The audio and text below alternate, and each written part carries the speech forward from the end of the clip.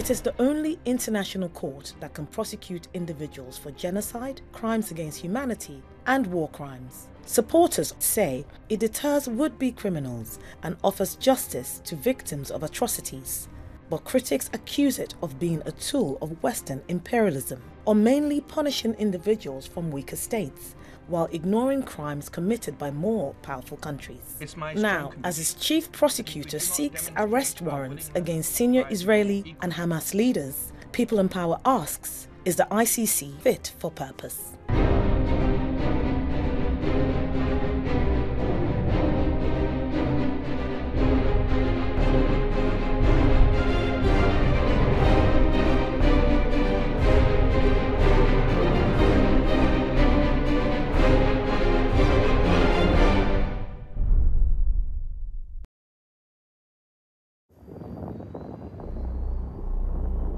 Saturday, October 7th, 2023. Hamas fighters bulldoze Israel's security fence and pour through from Gaza. Body cameras film their assault. Around 1,200 people are killed, and they drag hundreds of Israelis back to Gaza as hostages. International crimes says the International Criminal Court's chief prosecutor, Karim Khan.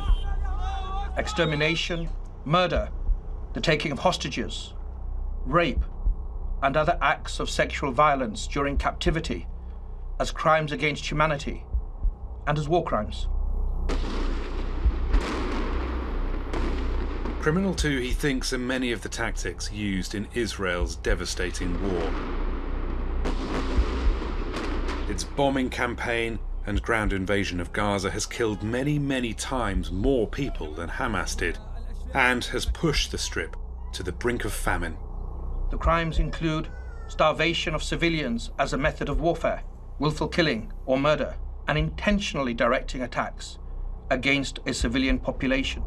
On May the 21st, Karim Khan announced he was applying for arrest warrants for Yahya Sinwar, Mohammed Deif, and Ismail Haniyeh, all Hamas leaders, and for Israeli Defense Minister Yoav Gallant and Prime Minister Benjamin Netanyahu, who was predictably furious. Is a moral outrage of historic proportions. It will cast an everlasting mark of shame on the International Court. Meanwhile, the United States has rushed to Israel's defense. We reject the ICC's application for arrest warrants against Israeli leaders. Whatever these warrants may imply, there is no equivalence between Israel and Hamas.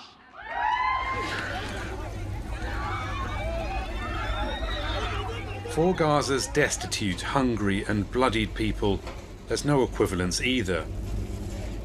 Israel, with its drones, bombs, and diplomatic protection, is infinitely more powerful, infinitely more dangerous. Mahmoud and his family fled at the beginning of the war moving three times since. Now they're eking an existence amongst the rubble of their old home. The news from the ICC has at least given them some hope.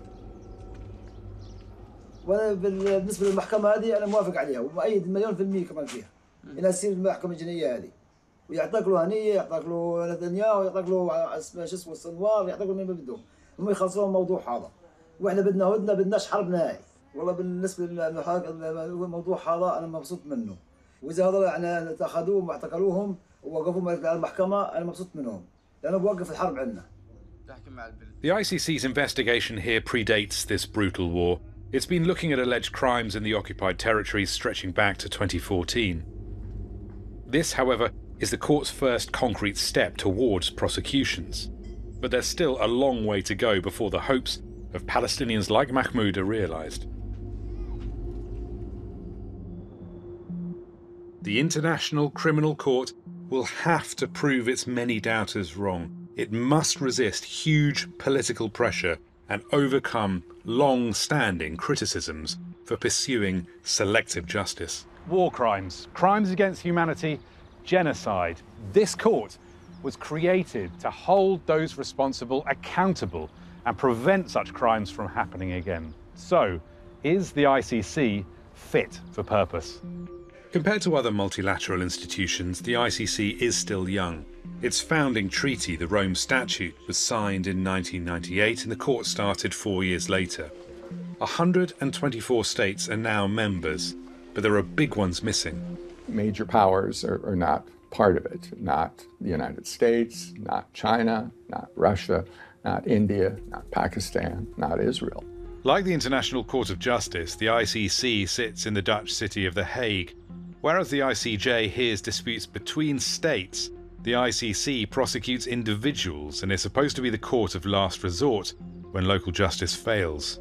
The ICC only has jurisdiction if uh, the country is, is unwilling or unable to genuinely investigate and prosecute. Arrests are supposed to be carried out by member states as the court has no police force. Judges decide whether a defendant is guilty or not guilty, and also if reparation should be paid to victims. But the court has moved slowly, with just 11 people convicted in 22 years. Notably, most of them have been Africans. The ICC costs money. Last budget for, for 24 is, is, I think, 187 million euros. Uh, that's about 200 million uh, US dollars. This comes from member states, though governments and other entities can make voluntary contributions. Stephen Rapp was President Obama's ambassador at large for war crimes and a man who wishes the US had signed up. It's very, very unfortunate, and it would be a better process if America were involved in it. How able is the ICC to resist the political pressure it's under at the moment? Do you think it's getting the political support that it needs? As, as a general rule, uh, I don't think the court has gotten the political support that it is needed. Are the Israel Palestine cases make or break for the ICC?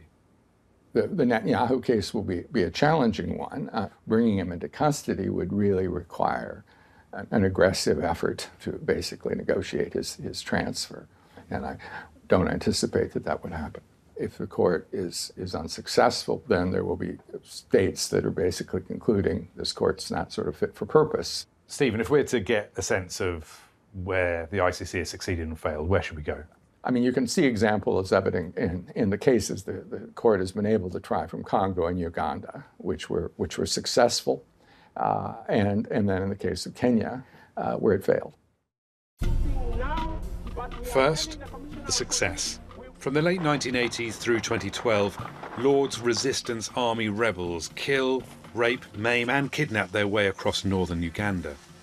The UN says they kill more than 100,000 people and abduct almost as many children. Lukodi was one of the places caught in the whirlwind. It's hard to imagine now, but in May 2004, Lukodi here was a huge camp for thousands of people who fled from their homes because of LRA assaults. But on the 19th, they attacked again. The rebels fanned through the camp, shooting, cutting people down, and burning them to death in their huts. Nearly 70 people were killed. This is the monument. Where's your daughter's name? My daughter's name is Akelo Lalobo. This one here? It's this one. Akelo. I lost my daughter and some of my relatives. What have been the long term impacts of these horrific events on this community? Ruenigero, Jim Mama Tikweri, ma pari pari wen, Ruenigero, Dok Bene, Jim Mumia no Wati Queri ma bejo bene pere don kumero waga wage pere, yen dan wam Ruenini pedon pere dugu. Ma tun me be feti ma be ye. In 2021, the ICC sentenced LRA commander Dominic Ongwen to 25 years in prison.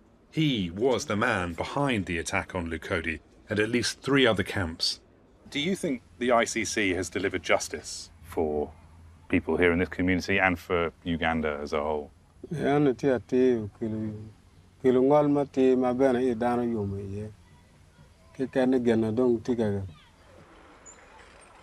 Another village devastated by the LRA was Abia. This is our home. This whole area, this is where the IDP camp for Abia started from. Started from all the way here, stretching to the other direction. It's where Victor Ochen grew up, a child of conflict and poverty. And it was a camp of about 70,000 people. 70,000 people here? Yeah. We grew up here witnessing so many atrocities, and my brother was actually abducted right from here. So this place has been through a lot, and you've been through a lot. The community didn't know anything to do with peace. It was all about war and suffering. So it's a community that did not see much happiness. Victor's African Youth Initiative Network took a lead role in getting the ICC to investigate LRA crimes. So Victor, Africa's youngest ever Nobel Peace Prize nominee, is a big believer in the court. I would say probably about four major achievements that the ICC intervention in Uganda brought. One, it gave hope to the population that at least we are going to be listened to international, internationally. And then the second achievement, it significantly deterred the escalation of LRA war. The third achievement, it was the ICC arrest warrant that forced the government of Uganda to start protecting people of northern Uganda. And then the last achievement, it gave opportunity for international communities to understand the reality of northern Ugandans were going through because it was invisible war. How do you respond to the criticism of the ICC that it mainly goes after Africans? The big question should be do we have these crimes against humanity, genocide and war crimes happening in Africa or not? If they are there, why should it be that we need to reach a point where we're debating whether who should kill, why should I be taken to court because I've killed my people, yet you are not taken to court because you've killed your people? I think that's a very silly argument that I, I find it so offensive as a victim, as a survivor of war. And yet, Victor knows there have been flaws. Ongwen's victims will share a $56 million ICC reparations trust fund. That's about $800 each. But some communities, including Abia, weren't mentioned in the court case, so people here will get nothing. So this is my family, and uh, I am happy to introduce you to my lovely 84 years father and my fantastic sister-in-law, Betty. When the LRA took Victor's brother, Betty lost her husband. Betty, some communities are going to receive compensation from the ICC for what they went through, but this community, as far as we know, won't. Does that hurt? Mi wando utamu ninyo wanne kandong pirwa petek. Umio dong poti aparo pirwa. Ubedu kere gen eto genwa bedu nono. Victor is worried. We would be so disappointed if the ICC reparation would come and tear down the society that we worked so hard to rebuild for the last time. We hope that any effort for justice would not create more injustice. Otherwise, society that has been struggling to heal, almost woven, will be again broken apart. So success, but with big caveats. To see what real failure looks like, step across the border to neighbouring Kenya. 2007, presidential hopeful Raila Odinga challenges the results of elections declared for the incumbent Mwai Kibaki.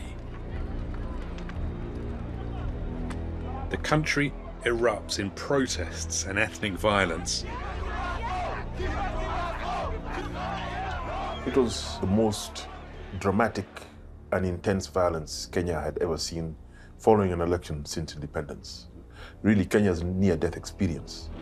Over a thousand people are killed, and hundreds of thousands more are forced from their homes. It was deemed that, that this had been fueled by political actors, and so the, the International Criminal Court embarked on an investigation. Six high profile Kenyans are accused by the ICC, including then Deputy Prime Minister Uhuru Kenyatta and Education Minister William Ruto. Journalist and anti corruption campaigner John Githongo watched as one by one the cases fell apart. The ICC, as well meaning as they may have been, uh, simply uh, weren't up to scratch. Kenya has the most experienced and well resourced political elite on this side of the continent of Africa. And so they took down the ICC. It's fairly easy for them. How did they do that? How how have those cases collapsed? Witnesses changed their statements. Some witnesses, you know, disappeared into thin air, etc., um, etc. Et uh, so it was a difficult case for the ICC to prosecute. All deny any involvement in the post-election violence, as well as any accusation they intimidated witnesses. Uhuru Kenyatta and William Ruto went onwards and upwards. Both became presidents of Kenya, a role that Ruto currently holds. Karim Khan was then Ruto's defense lawyer. Here he is as the trial began, tearing down the case presented by the very office he'll go on to lead. What a lamentable shambles the prosecution investigation has been. A parody of justice. A parody of justice is how it feels to many in Kenya, though not quite as Karim Khan meant it. This is Kibera, Nairobi's largest slum, one of the epicentres of that post election violence, and home to campaign group Grace Agenda. Our organization is survivor led, survivor born, survivor run um, for reparations and justice for the post election violence. Jacqueline Mutere set up Grace Agenda to help others like her. She was raped and fell pregnant in the violence. They decided that since the structures of um, the Kenyan system would not serve justice for anybody, so they decided let's we, we're signatories to the ICC, and so uh, we should go to the ICC. And so everybody was saying, they said, don't be vague, ask for the Hague. And that's, that, that, that's where they went. If it's an international court, they must serve justice. Do you still have faith in the ICC? The ICC is zero. Because it was delivering justice, I think, to, I think maybe to an international theater of sorts. That's what they were playing to. They did not intend for victims and survivors to get justice itself because they would have gone the full nine yards to ensure that some sort of harm is compensated to survivors. But they did not do that. Once the court process filled through, everything else crumbled like dominoes. The Kenya and Uganda cases tell us that renegade warlords are easier to convict than anyone with real power and protection. That's assuming they can even be arrested. 17 ICC suspects are still at large, including Sudan's former president Omar al Bashir. His 2009 warrant was never executed, despite visiting many countries that were obligated to arrest him. Also on the list is Russian President Vladimir Putin. Over the last 20 years, there has not been one single state official that has been prosecuted. Some of the strongest criticism of the ICC comes from those with the highest hopes for its success. Our hopes have not been uh, realized, and I think more importantly, uh, the goals set up for and by the ICC have not been met. We just have to look around to know that that system has failed people and has failed the victims. Amnesty International lobbied for the court's creation, but now warns that it's in danger of being bought. The office is has been forced seemingly to seek voluntary contribution from member states because the overall budget is not being met to the extent that is required. Those voluntary contributions come with a price tag. Strings attached. Strings attached. So, how have we seen that influence playing out in real terms? Well, we have certainly seen that being played out in the context of Ukraine. In March 2023, just a year after Russia invaded Ukraine, the ICC issued arrest warrants for Russian President Vladimir Putin and his Commissioner for Children's Rights, Maria Lvova Belova. They're accused of deporting children from Ukraine to Russia. Four other top Russian officials have since been indicted. Russia rejects the allegations. Let me be very clear. We at Amnesty International really saluted what the Office of the Prosecutor has done on Ukraine. So the warrants for Putin and Lvova Belova and, And- the others, they are valid. right? Exactly. But the voluntary contribution from Western states to the office for their investigation into Ukraine give the impression that this prosecution, this investigation, those arrest warrants can be the product of the influence of member states and not um, a truly impartial process. Where do you think these strings have been attached to stop or prevent investigations? an investigation into the uh, uh, UK possible violations in Iraq. So that investigation was closed. Uh, a second case is that related to allegations of torture by American and Afghan forces in Afghanistan. That investigation was deprioritized. But for Agnes, the ICC's Israel and Hamas announcement was welcome news. Uh, They signal a determination on the part of the International Criminal Court to go for um, a state leader that is associated with the Western world. And that too will be a very welcome step. Uh, it will allow the International Criminal Court to demonstrate its impartiality, to demonstrate that it is not um, the, the, object of undue influence and pressure, and is certainly not uh, implementing a double standard vision of justice. As ICC judges weigh up Gaza arrest warrants, Karim Khan knows political pressure will be intense. Indeed, the Guardian newspaper and Israeli magazines Plus 972 and Local Call say Israel's been waging a clandestine spy campaign against the court for nine years.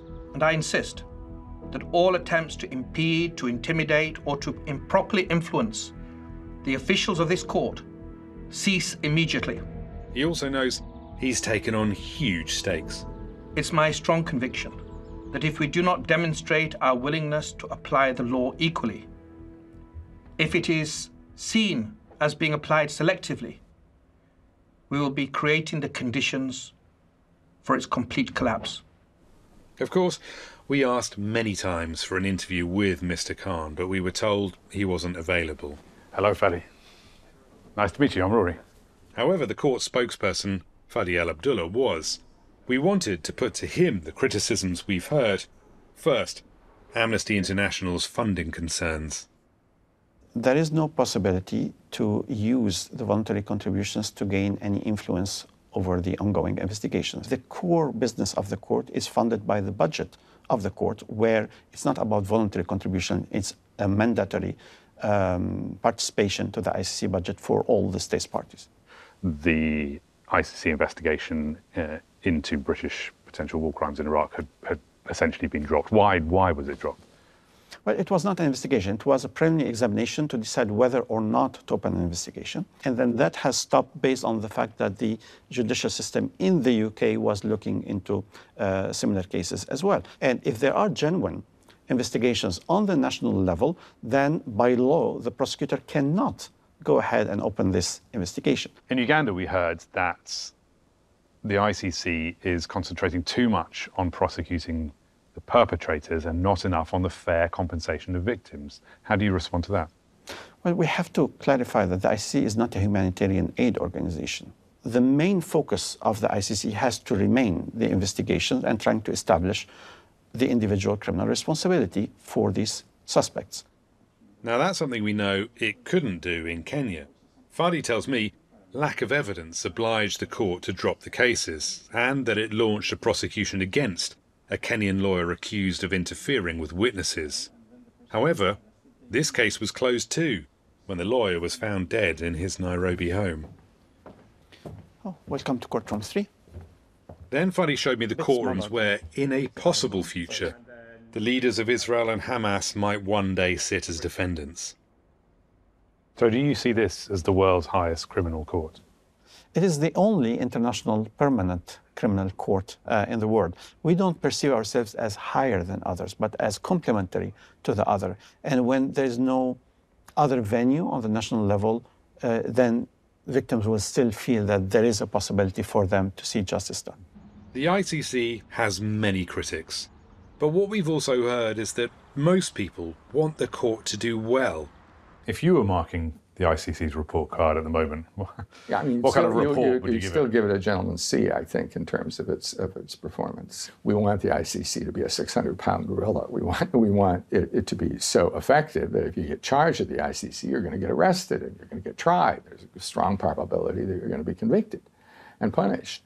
If it doesn't have if it doesn't have that perception, then it makes it much harder for it to convince countries to do the very hard work, which is very hard and always unpopular, of, of prosecuting their, their own men and women who've been out fighting for the country's interests, but who committed uh, abuses and crimes while doing so. All eyes are on the ICC now, and ultimately, success won't be measured in arrest warrants, they can be evaded. They are evaded. True success is powerful people sat in the ICC courtrooms answering for the crimes they're accused of.